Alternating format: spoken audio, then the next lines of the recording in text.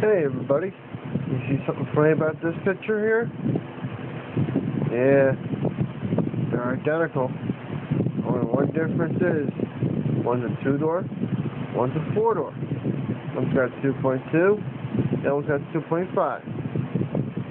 Both run great, one drives, one doesn't. If anyone knows where a decent transmission for a decent price, for the 91 on the left hand side, let me know on Facebook. Or leave me a comment and rate this picture.